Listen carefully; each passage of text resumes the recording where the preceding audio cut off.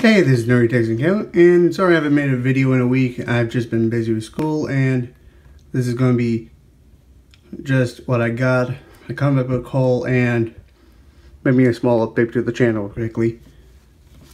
I got Damage Issue 3 by DC. The Brave and the Bold, Batman Wonder Woman Issue 2. Thanos Issue 17. And luckily I was able to have this on sale for 20% off. Fighting American. This is a graphic novel. Oh, that's what it says in the back. This is actually the like the 50s stuff, like when it first appeared. So it has the work of Jack Kirby, Joe Simon. So yeah, and it's 200 pages in total.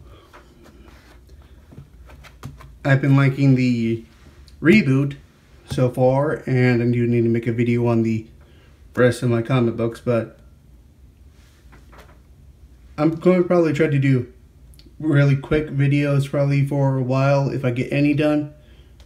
And hopefully that'll help me to catch up. Like, I'll probably do a whole bunch of DC comics together if I have them. You know, just do quick reviews of that. Quick reviews of, you know, Marvel together and all the indies I have. So, that's what I'm planning on. Leave a comment down below and what you think of what I should do, what you want to see, and, you know, hopefully I'll be able to get this done as quickly as possible.